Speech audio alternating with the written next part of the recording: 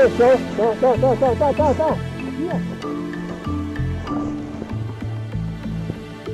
no,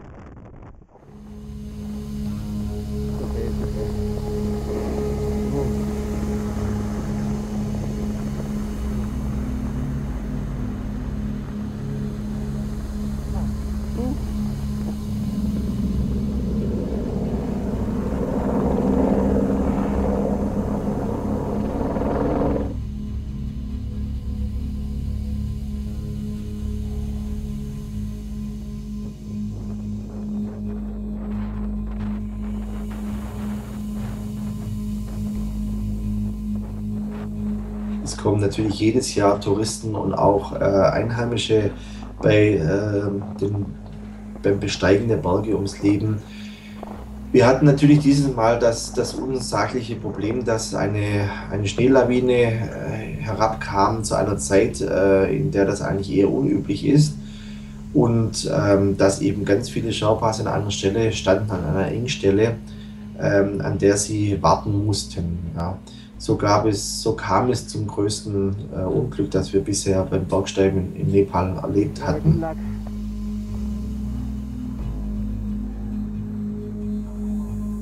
Himalaya-Bergsteigen war ja schon immer so, dass man auf Träger zurückgegriffen hat, dass man auf Unterstützung, auf Hoch, also Träger mal, um überhaupt ins Basislager zu kommen, dann auf ähm, Träger, die am Berg agieren. Ich, ich sage jetzt extra nicht Sherpas, weil Sherpas ist, heißt eigentlich nicht Träger, sondern Sherpas sind ja, ist der Volksstamm, der in diesem Tal zum Everest hin lebt. Und ohne diese, deren Unterstützung ähm, ist man noch nie an diese Berge gekommen.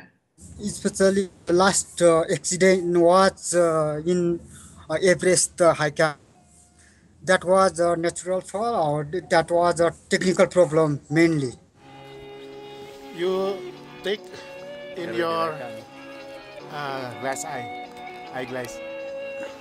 Um, the expedition that I went with um, is a company called Rolvaling Excursion. It's led by Shiring Dorje Sherpa, together with his brother Nawang, and we were uh, four clients climbing, and uh, with us went four Sherpas, among them Shiring. Plus, there were a few um, base camp staff who were cooking. We also had a, a doctor and uh, a good friend of uh, two of the other clients with us. Some of them were keeping to themselves most of the time, but uh, Shiring, he was the leader of the expedition, and he was um, very, very kind. He was always putting us and our needs first, and he would never risk any person's life. He would uh, do whatever necessary to, to keep us safe. Gut, die Einnahmen äh, sind leider nicht fair verteilt. Ähm, wenn man eine Everest-Expedition, also als Beispiel Everest gibt es eine andere 8000 an der Ecke, äh, wenn man so etwas bucht im Kumbu, dann ähm, sind die Veranstalter in Kathmandu, die das meiste Geld verdienen, natürlich genauso Sherpas wie die Menschen ihrer selben Volksgruppe, die eben das Gepäck tragen müssen.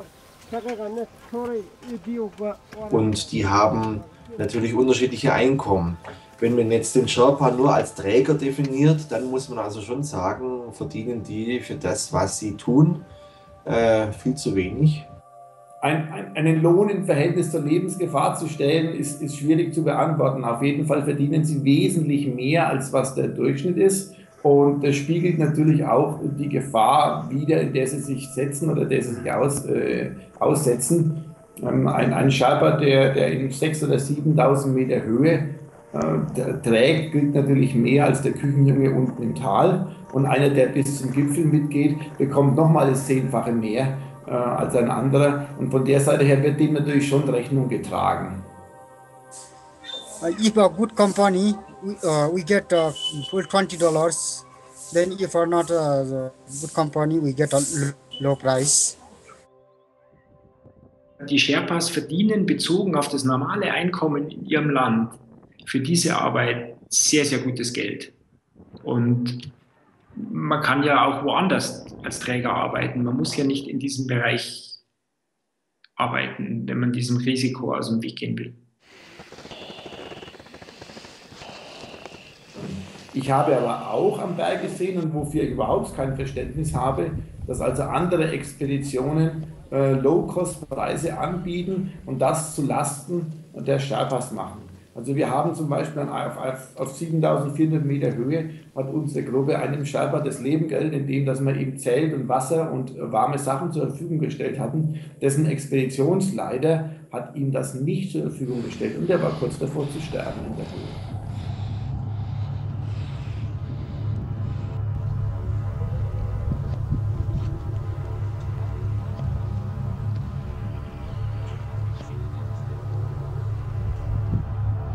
Ich glaube, gespürt zu haben, dass gerade in der asiatischen Welt ein Menschenleben nicht so einen hohen Stellenwert hat, wie es bei uns üblich ist.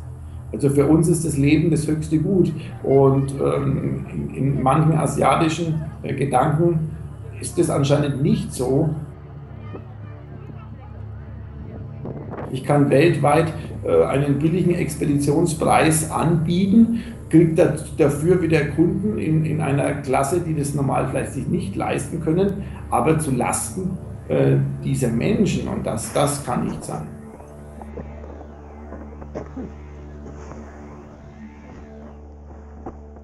The Sherpas and Westerners were organizing climbing the mountains shoulder, shoulder to shoulder. Okay, And of course, there are some incidents here and there that is very minor compared to top climbers they come to the mountains. And the mountain, the Sherpas are again the main backbone for the success of any people who summited the Everest because the Sherpas they have to go first to prepare all the trails. And they have to come at the last, uh, sorting out, cleaning up the whole thing. And the Sherpas never explained anything.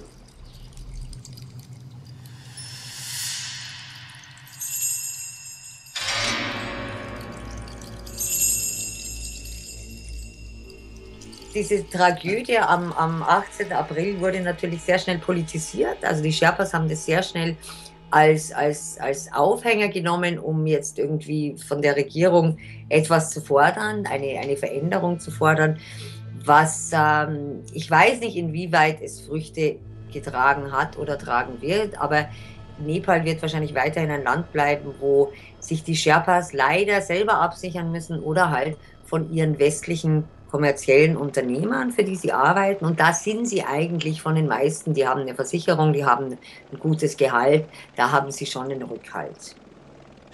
Man könnte natürlich jetzt ganz äh, gemein sagen, wer sich in Gefahr begibt, der äh, könnte auch darin umkommen. Nur für die Mitarbeiter, für die Einheimischen ist das eben oft die einzigste Möglichkeit, überhaupt Geld zu verdienen dort oben in den Bergen. Sie leben zum Teil, die siedeln zum Teil so hoch, dass man dort nicht mal mehr ähm, etwas anpflanzen kann, um sich selbst zu versorgen.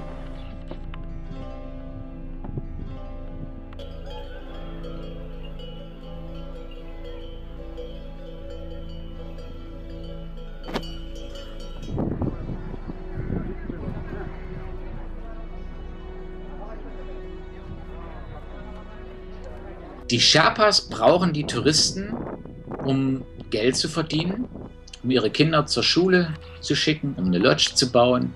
Und die Touristen, die brauchen die Sherpas, um ihren Krempel zu transportieren oder die Seile zu verlegen, um auf den Everest oder einen anderen Berg zu kommen. Allerdings brauchen die, die Touristen und vor allen Dingen die Bergtouristen, die Sherpas mehr, zumindest der ganz, ganz große Löwenanteil von ihnen. Es gibt natürlich auch Bergsteiger und die wollen wir nicht vergessen. Ich gehöre auch zu denen, ähm, die also ihre Expedition ohne Sherpa-Hilfe machen, die also äh, nicht sich die, die Routen präparieren lassen, um dann also den, die Steigklemmer einzu, einzuhängen und sich dann am fixierten Seil da den Berg hochzuziehen. Das hat mit Bergsteigen meines Erachtens überhaupt gar nichts zu tun. Uh -oh.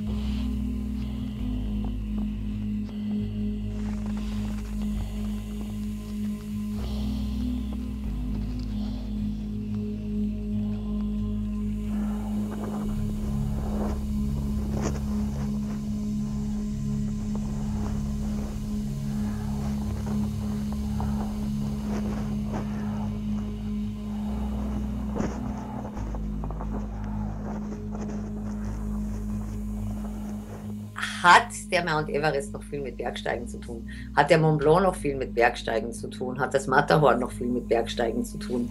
Äh, das sind die Fragen, die man sich stellen kann.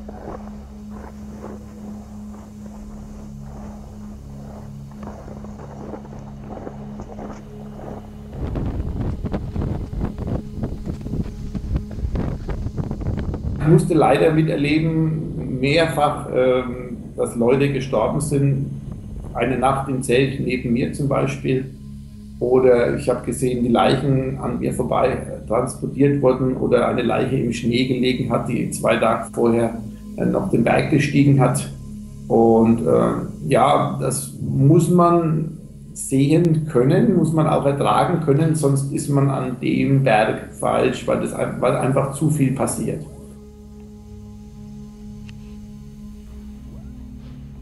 Uh, both on the way up and the way down, we uh, we crossed uh, a lot of dead bodies. I'd say maybe ten or so. They're that high up. It's not easy to, to take care of uh, the bodies. It's a dangerous mission to bring them back down. You start to think when you you pass the first one. Do I really feel right? Can I keep on, or should I turn around? That's at least that's what I thought when I saw them. Also ich war in einem Zelt gelegen, es war ungefähr auf 7500 Meter Höhe, die erste Nacht in der Höhe. Äh, der Kopf hat gebrummt, alles war, alles war ganz schlecht, äh, ganz schlechter Zustand und im, und im Nachbarzelt war also ein Tohu Wabohu. Ich habe nichts verstanden, das waren also Nepalis, die untereinander gesprochen, geschrien, gerufen haben und habe über, überhaupt nicht verstanden, um was es da geht. Und erst zwei, drei Stunden später ist, ist mir dann gesagt worden, also 50 Zentimeter von meinem Schlafplatz entfernt ist, ist ein, ein, einer unserer Climbing-Sherpas, ein, ein, ein braver, guter, starker Mann, äh, an einem Hirnödem wohl äh, gestorben in der Nacht. You know how, how much are going to miss you after this trip? This much. Really? that's, that's twice as much as expected. during the climb, we met a few people that uh, should probably have turned around earlier. They were uh, struggling and uh, they were barely able to walk on their own. So they're they're building up um, big um, queues of people not uh, being able to to pass on the route, which could be dangerous if the oxygen lows low or something happens and you just need to get down quickly.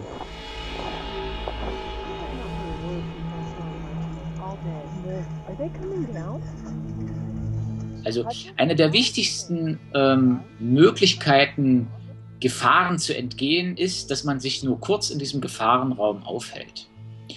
Und genau das wird ja äh, eigentlich dadurch verhindert, dass Leute, die langsam sind, die nicht geübt sind, die keine Erfahrung haben im Umgang mit Pickel, Steigeisen, Fixseilen, mit Wetter, vor allen Dingen auch mit ihrer eigenen Psyche und ihrer eigenen mentalen Verfassung. Das ist nämlich auch ganz wichtig, dass man eigentlich weiß, äh, in welchem Zustand man gerade ist. Ist man gerade sehr erschöpft, total erschöpft, zu Tode erschöpft?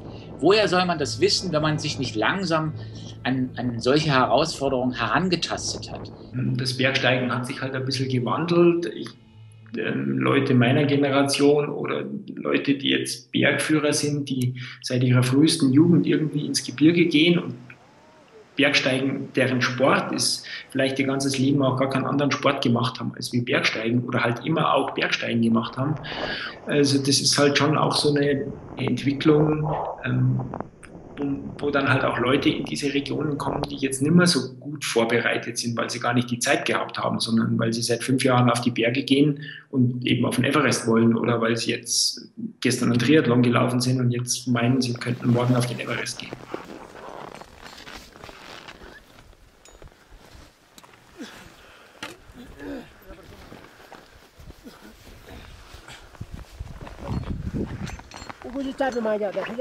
Well, uh, when I am up there, I have to really. Uh, what I can do is taking care of myself.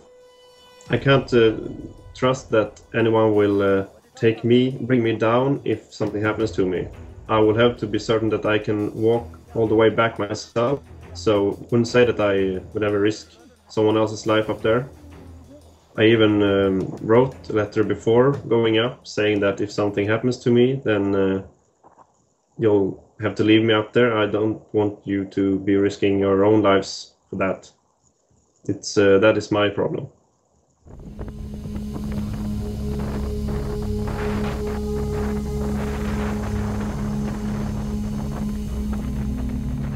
When uh, at the summit, uh, we had been using oxygen for uh, more than 12 hours already and uh, the oxygen really helps. So i i wouldn't say that i felt any any big difference from the the lower oxygen level at the high altitude since we were well acclimatized and using the the bottled oxygen to help us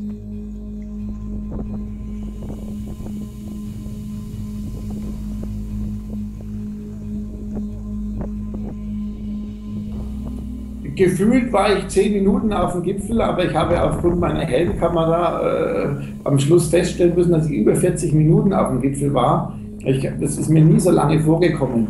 Äh, das ist natürlich auf der einen Seite unbeschreiblich, auf der anderen Seite ist es so wahnsinnig kalt gewesen, dass man nur noch dran denkt, ich will sofort wieder runter. Was mache ich hier? Also versucht man seine Fotos zu machen, irgendwie andenken, ein, ein, ein, zwei Steine von einem Fels abzuklopfen, die mitzunehmen, um solche Andenken zu haben. Und das ist das Ganze, auf was sich der, der, der Kopf und der Körper momentan zu dem Zeitpunkt konzentriert. Ein richtiges Erfolgsgefühl hat sich bei mir erst einen halben Tag, einen Tag später eingestellt.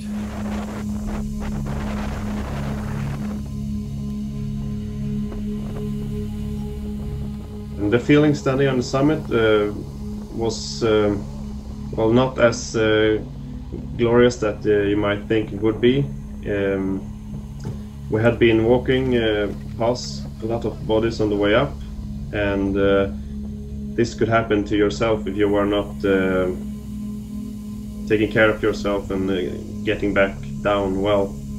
So we stayed on the summit for about half an hour taking some photos and uh, doing some filming and then just thinking about uh, taking yourself down safely. And that's really when you can start to think about what you've actually done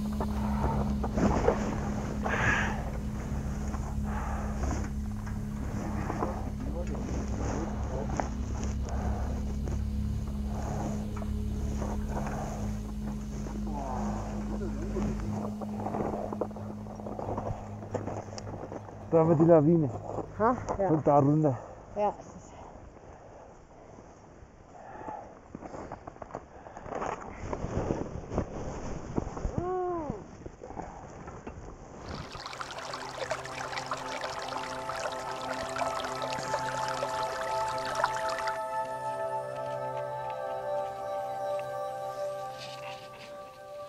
The Sherpas considered every mountain as a god and goddesses. All the mountains have a name, God name.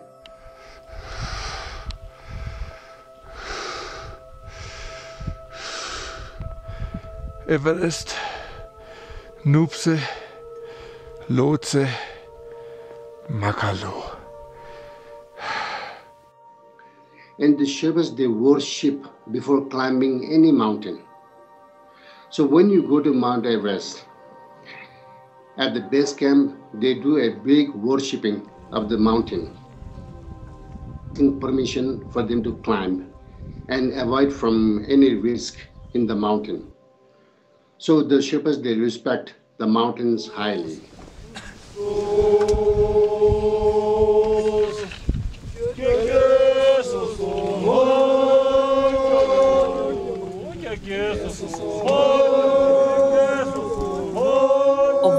Gläubig bin, ist es für mich ganz wichtig. Also es ist, es gehört, gehört dazu. Da, sitzt man dann um, um, um, um den Chorten rum, da bauen die so einen kleinen Altar und dann kommt irgendein Lama oder manchmal ist einer von den Climbing Sherpas irgendwie ein Lama und der macht es. Und das dauert dann zwei Stunden und dann wird auch getanzt, auch Bier getrunken morgens um neun und, und jeder bringt irgendwie seinen Eispickel mit, der wird dann noch irgendwie gesegnet. Und dann bekommt man eben dieses, diesen, äh, ja, diesen kleinen Strick da oder dieses kleine Band. Und das trägt man so lange, bis es abfällt. Also ich habe schon ganz viel abgefallene. Und das ist, also, und ich weiß, als ich am Makalu war, boah, dann habe ich mein Band plötzlich nicht mehr gefunden, ja, bevor ich, und dann war ich also wirklich, dann habe ich, dann habe ich mir wirklich gedacht, jetzt kann ich nicht auf den Berg gehen, aber ich habe es dann wieder gefunden. Also es ist, man äh, hat dann auch vielleicht so einen Aberglauben mit dazu. Die Götter leben auf den Bergen oben was äh, diese Menschen aber nicht unbedingt daran hindert, äh, sich respektvoll äh, diesen Wohnstätten zu äh, begegnen. Also das bedeutet es nicht, äh, wenn ein Berggipfel heilig ist, dass er nicht, äh, dass man dem nicht näher kommen kann, aber die Leute haben eine sehr große Ehrfurcht davor und wenn es dann mal Lawinenabgänge oder Steinschläge gibt, sehen sie das schon tatsächlich als etwas, als eine höhere Macht, die da einfach zu ihnen gesprochen hat. Da vorne, da, da, da, da, da, da, da, da. Hier.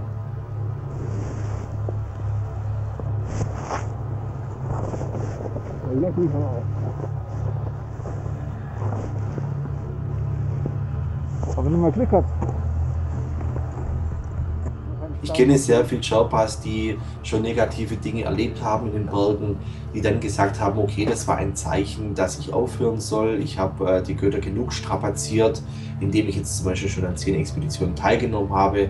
Also vernünftig sind sie dann letztendlich schon. Aber auf der anderen Seite lockt natürlich auch mal das Geld.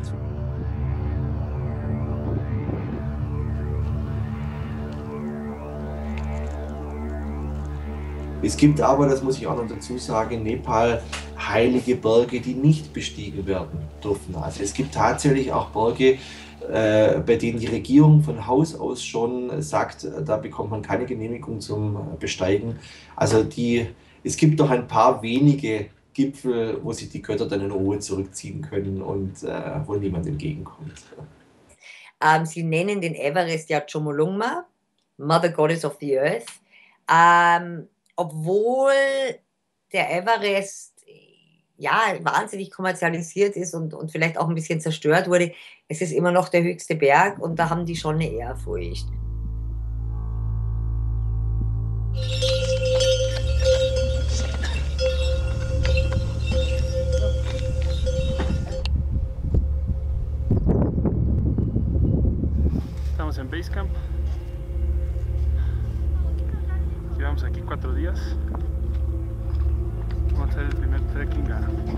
Kalapata. Wenn ich immer lese, die größte Müllhalde der Welt, das Everest Basislager, ist es ein absoluter Krampf. Ja? Also äh, wenn man jetzt ins Everest Basislager geht, natürlich findet man menschliche, ähm, äh, also da, da was, was, was Menschen hinterlassen haben. Ja? Natürlich ist da ein bisschen Müll, aber im Großen und Ganzen, äh, Nepal hat da recht strikte ähm, Regulierungen und die meisten westlichen Unternehmen, denen ist es auch ganz wichtig.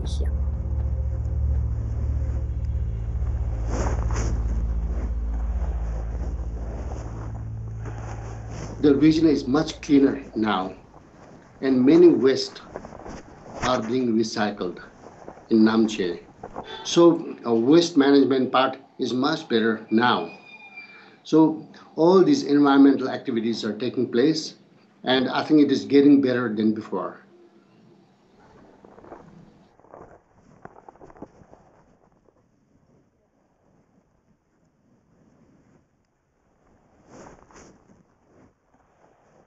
Nichtsdestotrotz kommt man natürlich an Lagerplätze, wo man jetzt eine Ansammlung von Glas- oder Blechdosen findet, was nicht schön ist. Wir versuchen aber den Müll, den wir selber mitbringen, wieder ähm, mit zurückzunehmen. Da gibt es von uns auch diesen Drecksack, der jeder Kunde von uns bekommt, so, eine, so ein orangener Plastikbeutel. Genau, so schaut er aus. Plastiktüte oder Nylonsäckchen, knallorange, Drecksack. Ist auch heuer auf der, ich weiß gar nicht, ISPO oder wo ausgezeichnet worden.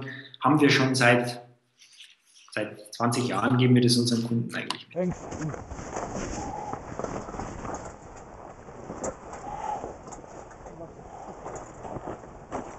Ich war mit Billy Bierling zusammen am Manaslu. Es war ihre zweite Besteigung, die erste ohne Sauerstoff für sie. Ich bin mit Sauerstoff gegangen und wir sind sehr viele Strecken zusammen gelaufen. Als, die, als einzige zwei Deutsche im Team haben wir uns natürlich da gesucht und gefunden. Es war eine ganz angenehme äh, Zusammenarbeit am Berg und äh, da haben wir die Zeit genossen und es war ganz toll. Zieh es an, halt auf Spannung, Billy, halt auf Spannung und dann zieh dich rüber. Ja, halt auf Spannung. Was du zuerst willst. Und du willst. Sorry, da bin ich echt ein Schiff. Ich wollte eigentlich nie auf den Mount Everest, aber ich habe so viele Leute kennengelernt und wie Sie eben gerade gesagt haben, ja, die, die hat es noch viel mit Bergsteigen zu tun. Und die Leute kamen da runter und die haben gedacht, naja, wenn die da hoch können, dann schaffe ich das auch. Und dann wurde das halt irgendwie ein, äh, ein Thema und ich hatte gerade ein bisschen Geld und das habe ich dann in den Everest investiert. Und für manche Leute ist man dann fertig, wenn man den Everest hat. Und das hat mich dann doch inspiriert. Du ziehst am Seil und ziehst dich selber rüber. Okay? Und wohin? Da, wo ich mein Fuß ist, tue ich gleich weg. Hier rechts. Genau. Eins, zwei.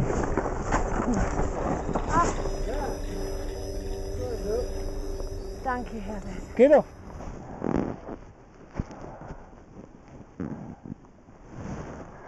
Ja, die Stoffmaus am Everest, die war ganz wichtig. Die sieht man sogar noch auf dem, auf dem Gipfelfoto. Die hängt bei mir am, am Rucksack dran. Die hat mir mein, mein Sohn damals mitgegeben und die habe ich bis auf den Gipfel geschleppt und wieder zurück. The Himalaya generates most of the major rivers in Asia and Southeast Asia. So environmentally, naturally, Himalaya is very important for the whole world.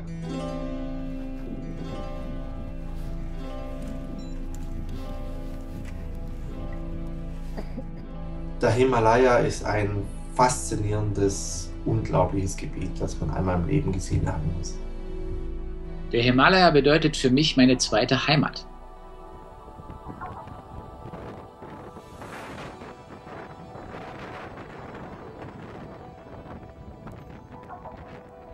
Der Himalaya ist für mich der Platz, an dem ich Energie bekomme.